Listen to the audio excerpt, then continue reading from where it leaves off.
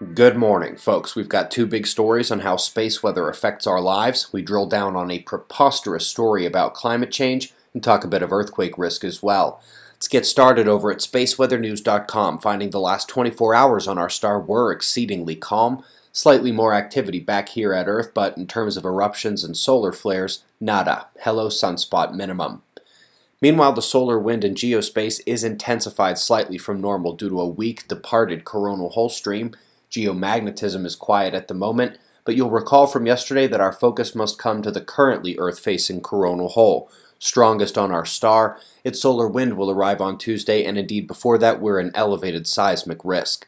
Largest of the last day, both hit the Atlantic, and were not too large. We do have blot echoes nearby, approaching the Japan and Kuril area and in Oceania where we'll see atmospheric signals in a minute or two. They've also got creatures of the deep washing up in Queensland.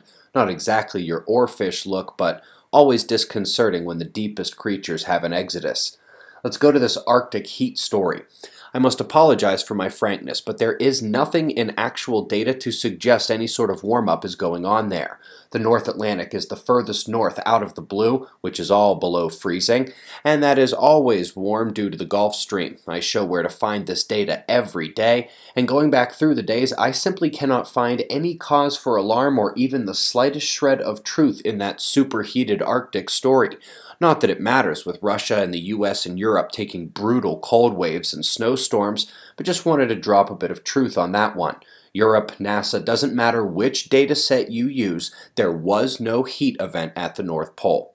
Up next, a study giving a deep dive into EEG data indicates that solar flares and geomagnetic storms affect multi-channel brain function such that we may now have a mechanism for the stress induction, cognitive diminution, and even seizures and migraine activity during those most powerful events. We've seen the statistical correlation dozens of times.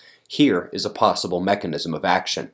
Today's top story, one we'll have to come back to in another episode for more detail and macro picture around it.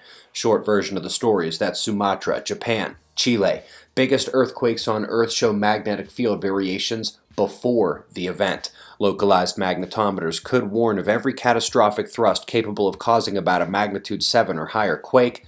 Again, more coming on this in another video soon.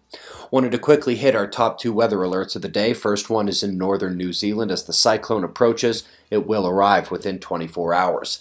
Second one comes to the Gulf states this evening. Worst of it will begin in southern Louisiana and roll eastward through the evening time.